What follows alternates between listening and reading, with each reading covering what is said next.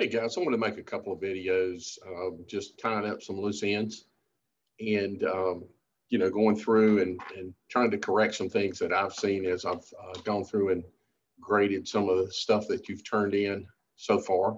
And um, these are maybe not in order as you were presented with them, but um, I'm just trying to, to create these as I run into them. Okay, so as you're looking at the backside of uh, Grandfather Mountain there, I am going to throw something up here and we're going to look at it. Okay, in, in chapter three, we ran across this equation. It was uh, actually 3.1, right? And it was a uh, an equation for resistance. And the resistance is given, and the resistance is actually given at a particular temperature. Um, and it is based on 20 degrees C, which is around 68 degrees Fahrenheit. But, but what that says is that the resistance is equal to the resistivity, and that is unique to a particular type of material, be it copper, gold, silver, aluminum, whatever, okay? And that would be determined, uh, you know, like in a lab. And, you know, for, for copper, uh, it comes out to be, and copper is the one that we will, of course, encounter the most. It comes out to be approximately 10.3. And then the units, the units are what I want to talk to you about, okay? So the units for resistivity, it's 10.37 at 20 degrees C, and it's measured in something called circular mil ohms per foot. Eh a lot of problems here, right? Number one, we don't know what a circular mil is really. And then the other thing is he's measuring, it's given, you know, in relation to feet. All right. So, you know, we've talked about SI units, right? In, in SI units, when we're talking about uh, length, we would be talking about the meter. Um, but, you know, that's not what we're dealing with here. And then there's this other complicating thing called circular mils. Now, this particular video is about circular mil. And the reason I want to go into it is it's sort of this, it's, it's sort of this unique to um, electricity world, electrical engineering world um, way to define the uh, diameter, well, the area, excuse me, the area of wires.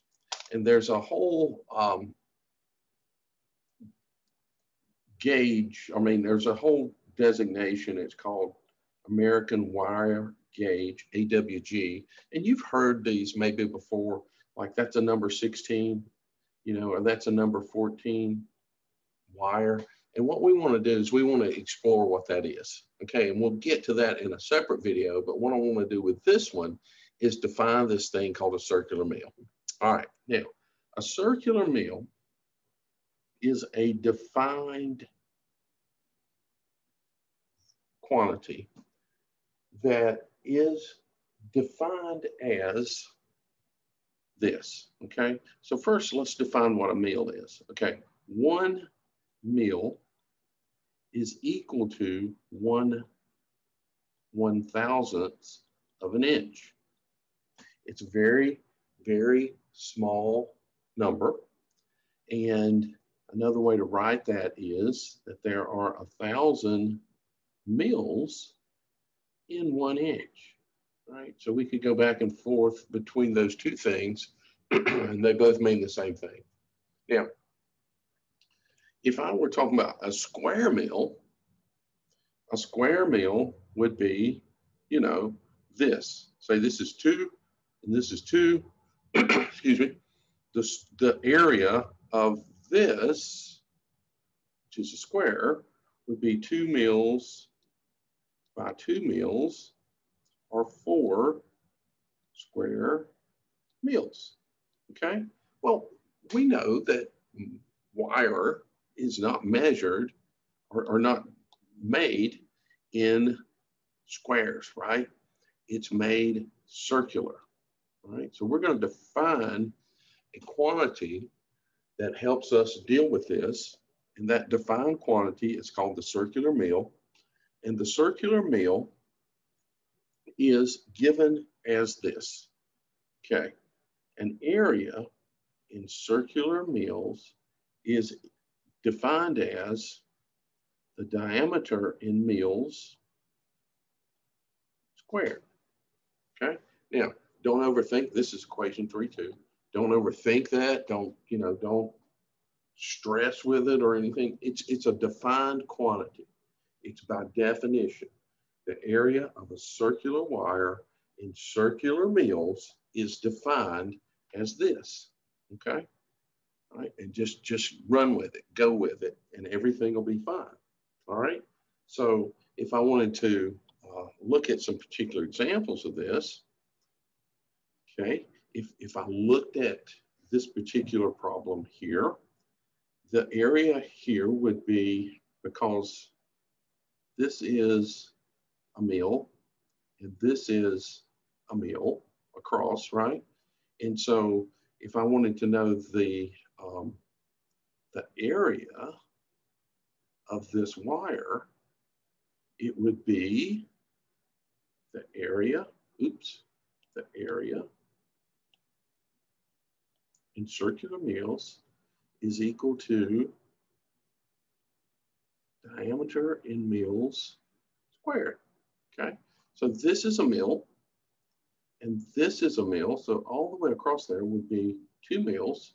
Two squared is four circular mils. This is a mil. This is a mil. This is a mil. The diameter is equal to three mils. The area in circular mils is three squared or nine circular mils. Okay? Now, um, I think it's, and I, I, need to be consistent with this, but notice that I wrote this as this, and, and we should make a point to write this in terms of capital C, capital M, to make sure that we're distinguishing this between uh, centimeters and circular mils. Okay, so so there's there's the definition of a circular mil. Now the problems in this would kind of go like this. Okay, so let's say that you had a wire, right? And well, maybe I actually have a picture of a wire. So let's see, do I have a picture of a wire? That might be a better thing to do. Okay, here's our wire. And of course, this wire is showing this equation, right? And then now we've looked at the units of this, the areas in circular mils, right? This is in feet, and this is in um, given to us as circular meter ohms per foot. All right, so all these units work out. But let's say that we measured this wire across here and we saw that it was one eighth of an inch. Okay, and I want to determine what the circular mils of this wire is. Okay, now stick with me. All right, so this is one eighth of an inch from here to here. I can make that measure. Now, first thing I need to do is convert this fraction into a decimal. So 1 divided by 8 is 0 0.125 inches. Okay, 1 inch contains a thousand mils. Okay, inches cancel out. This is just moving the decimal three places, multiplying by a thousand. So this ends up being 125 mils. Okay, you're not done because you want to take that and the area in circular mils is equal to the diameter, okay, in mils squared, okay? And for this particular problem, we'll go up here.